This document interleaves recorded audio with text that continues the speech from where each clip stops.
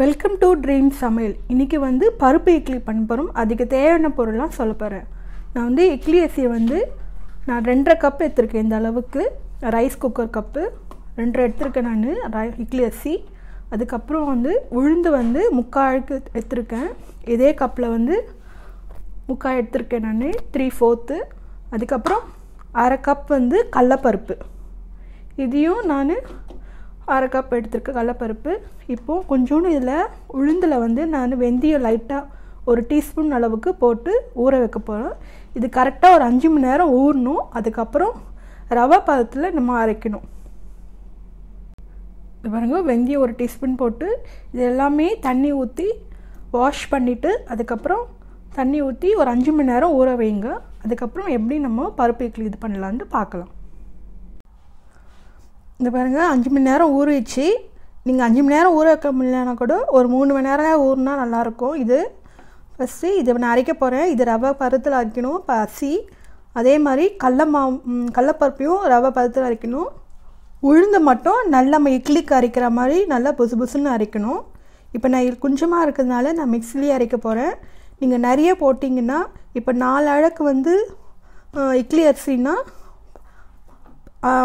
அழகு வந்து கடலப்பருப்பு அழகு வந்து உத்தம்பருப்பு இந்த அளவுக்குங்கான ரேஷியோவில் நீங்கள் ஊற வச்சு அரைக்கலாம். இப்போ நான் கொஞ்சமாக இருக்கனால மிக்சியில் நான் அரைக்கிறேன். இது பாருங்கள் இதுமாரி ரவை பதத்தில் அரைச்சி வச்சுக்கின மாவு நம்ம இட்லி கரைக்கிற மாதிரி தான். இது எக்ஸ்ட்ராவாக வந்து நம்ம கடலப்பருப்பு போடுறோம். அப்போ தான் நல்லாயிருக்கும் இந்த டேஸ்ட்டாக இந்த டை இந்த பக்கத்தில் நீங்கள் அரைச்சி வச்சுக்கோங்க.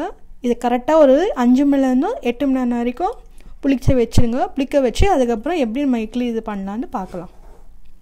இப்போ அரைச்சிட்ட மாவில் வந்து தாழ்ச்சி கொட்ட போகிறோம் அதுக்கு தேவையான பொருள்லாம் வந்து மிளகு சீரகம் பச்சை மிளகா. உங்களுக்கு இஞ்சி ஃப்ளேவர் பிடிச்சிங்கன்னா இஞ்சியும் சிறுவாக கட் பண்ணி போட்டுக்கலாம்.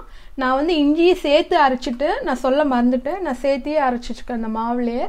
இப்போ வந்து பெருங்காயம் வந்து தேவையான அளவு. ஒரு ஸ்பூன் வந்து எண்ணெய் வச்சுருக்கேன். அதே மாதிரி ஒரு ஸ்பூன் வந்து நெய்யை ஊற்றுறேன் வாசனையாக இருக்கும். இப்போது மிளகு சீரகம் தாளிக்க போகிறேன்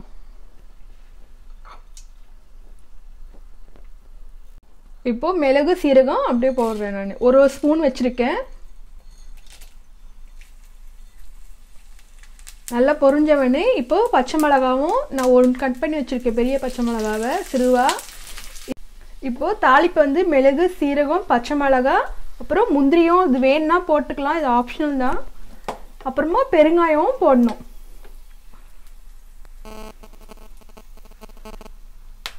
ரெண்டு பிஞ்சு நான் போடுறேன். ஏன்னா நம்ம கடலப்பருப்பு போடுறதுனால பெருங்காயம் நிறைய போட்டால் நல்லா வாசனையாக இருக்கும். இட்லி.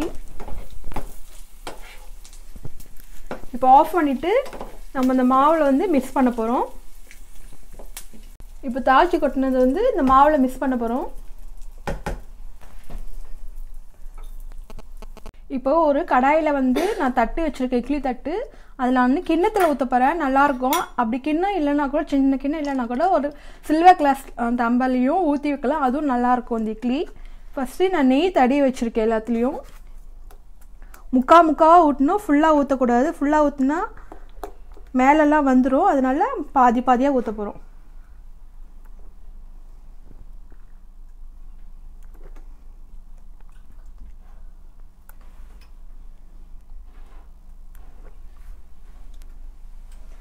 இது அஞ்சு மணி நேரம் இல்லை ஆறு மணி நேரமாவது புளிக்கணும்.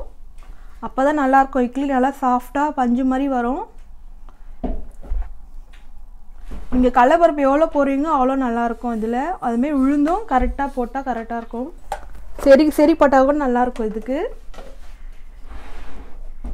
இப்போது மூடி போட்டு நான் மூடிட்டு கரெக்டாக இருபது நிமிஷம் வேகணும். ஏன்னா கடல கடலப்பருப்பு போட்டதுனால ஒரு பத்துலேருந்து ஒரு பாஞ்சு நிமிஷத்துலேருந்து நம்ம நல்லா வேக விடணும் ஃபஸ்ட்டு பத்து நிமிஷம் வெந்துச்சா பாருங்கள் அப்படி இல்லைன்னா இருபது நிமிஷம் நல்லா வேக விட்டு எழுங்க.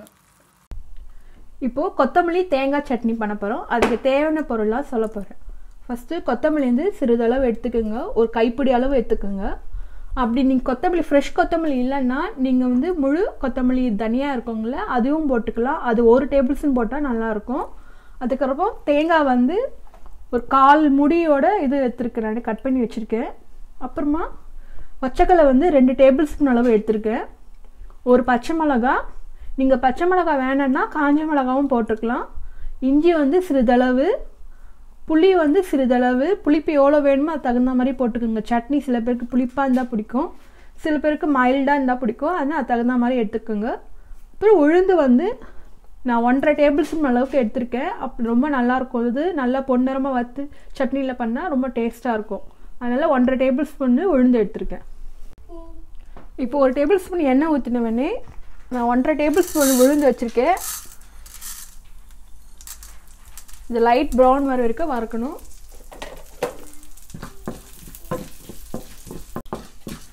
இப்போ லைட்டாக ப்ரௌன் வந்திருக்கு. இப்போவும் புளி வந்து சிறிதளவு போட்டிருக்கேன். சிறிதளவு நெல்லிக்காய் அளவு போட்டிருக்கேன்.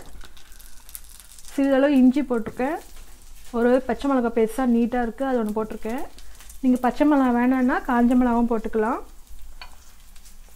ஒரு கைப்பிடி அளவு நான் கொத்தமல்லி போடுறேன்.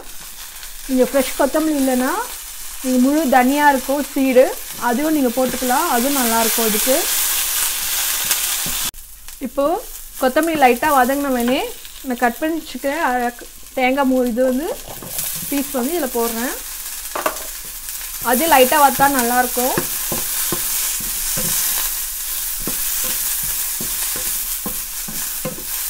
இது நல்லா ஆற வச்சுட்டு நமக்கு ஒரு ரெண்டு டேபிள் ஸ்பூன் வந்து வச்சக்கலை இருக்குது அதையும் சேர்த்து உப்பு போட்டு நம்ம அரைக்க போகிறோம் இது பாருங்கள் நல்லா வெந்துச்சு. நான் பாஞ்சு நிமிஷம் வரைக்கும் வேக வச்சு எடுத்திருக்கேன்.